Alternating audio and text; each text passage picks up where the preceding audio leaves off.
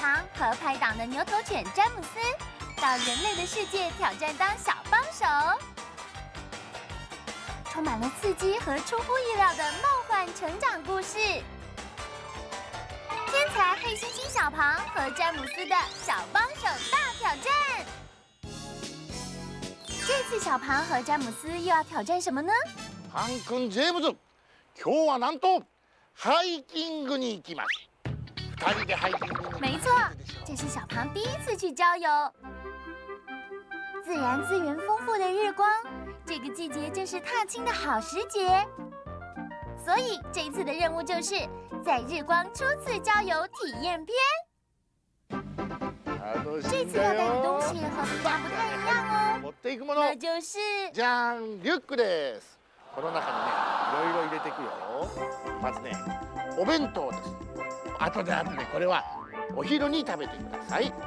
今食べちゃダメそして喉が渇くから水筒も入れるよ。よいしょそうそうそうそう。今天的装备比平时都要多。小庞背得多吗？いいよいいよパン君いいよ可愛いよ。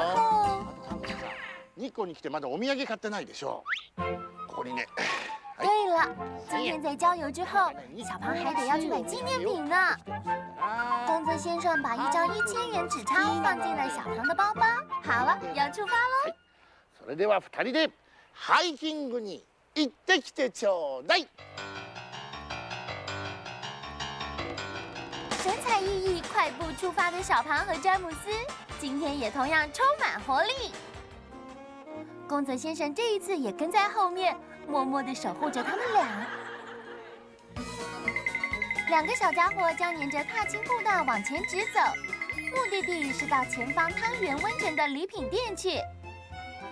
进入踏青步道的两个小家伙，前面是难走的山路，嗯，要加油哦。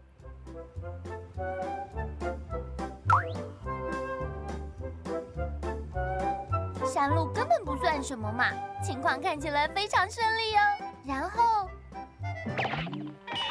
呃，小庞已经准备要休息了。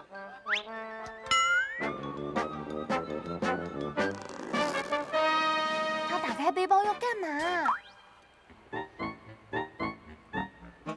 啊，是便当，已经要吃了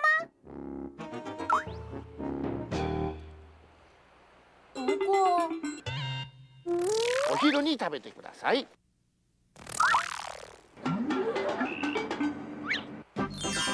小庞真是了不起，因为想起了宫泽先生的话，所以能够忍耐下来。背上背包，再度出发。哎哎哎，小庞，你背包的拉链没有拉上啊，不会有问题吧？结果，こんにちは。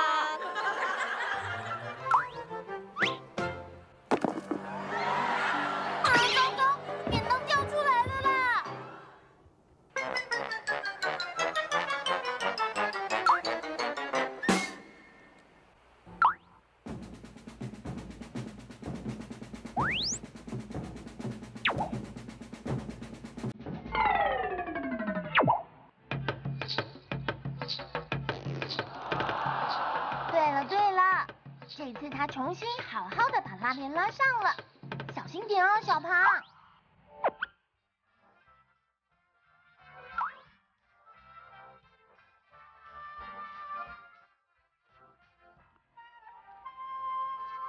踏青步道继续往前走，感觉有点累的小庞居然，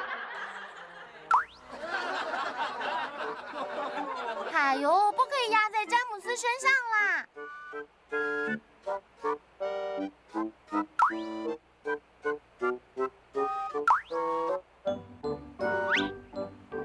疲倦的小庞爬到栏杆上坐下来，好像是想要休息一下。就在这时候，小庞发现了一只大甲虫。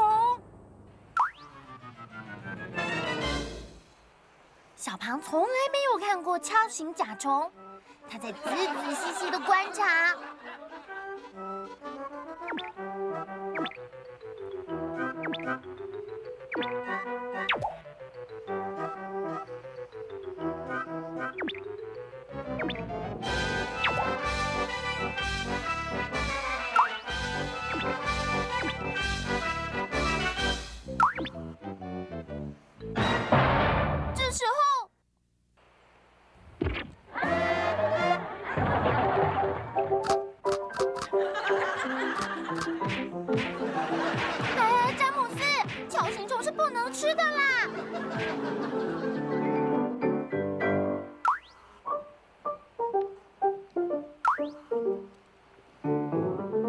小庞虽然被夹了一下，对锹形虫也要很友善哦。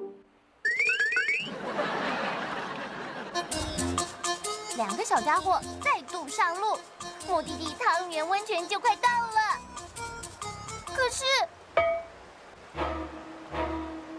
眼前等着他们的是横跨溪流的一座小桥，桥面很窄又很危险，他们能够顺利走过去吗？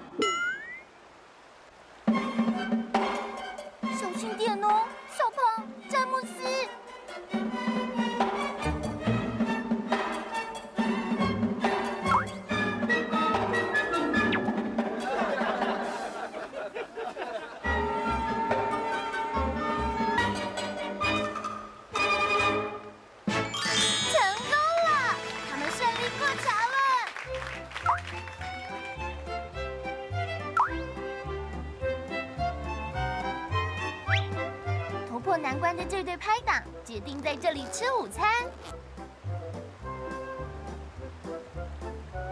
哇，期待已久的便当时间，到底装了什么好料呢？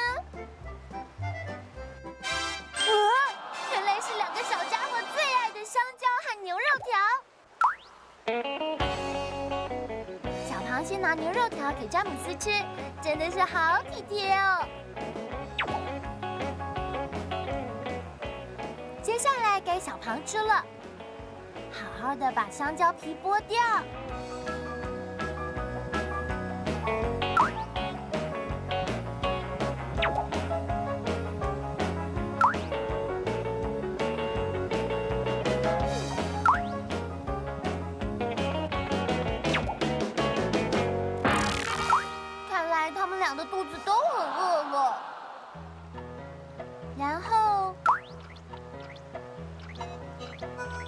完便当之后，拿出水壶准备喝水。对对对，还知道要怎么打开盖子呢。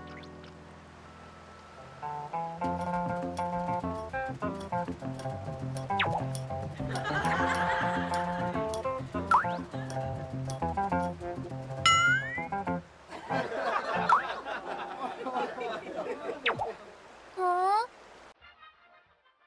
小庞竟然自己把水喝光虽然对詹姆斯很抱歉，不过也差不多可以出发喽。对了对了，乐色记得要带走哦。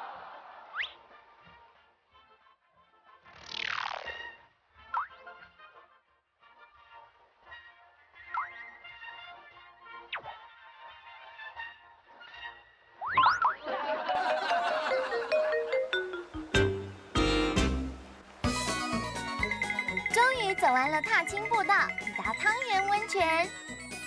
他们要在这里的礼品店购买日光的纪念品。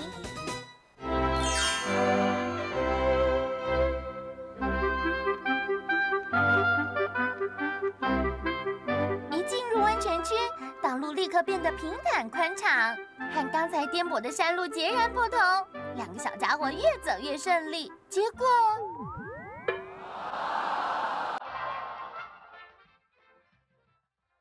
发现的是喷出温泉的泉源。原来汤圆温泉的泉水就是从这里涌出来的。看到不断涌出的泉水，小庞显得很有兴趣。可是泉水的温度高达七十度，小心点啊，小庞！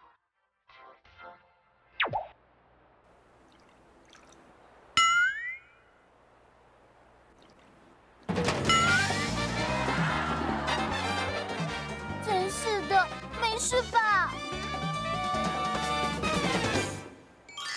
然后好不容易抵达目的地的礼品店了，要请詹姆斯在外面等一下哦。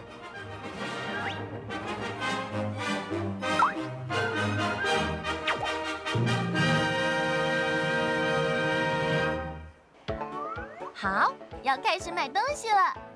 店里面陈列了各式各样的礼品，小庞会选择哪一种呢？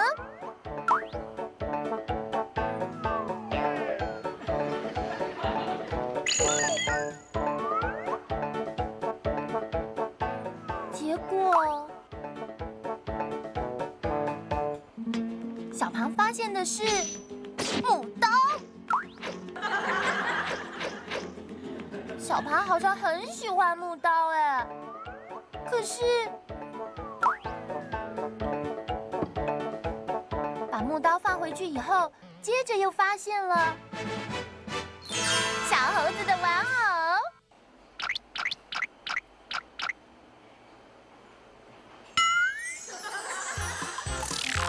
对了，上次去日光东照宫时。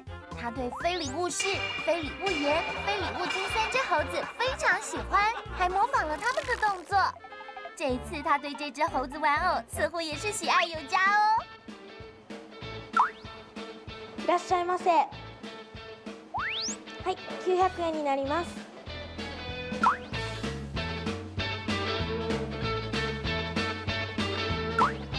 千円お預かりいたします。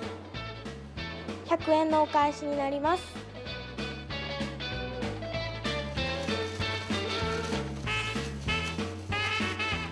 ありがとうございました成功了小成功买真是胜利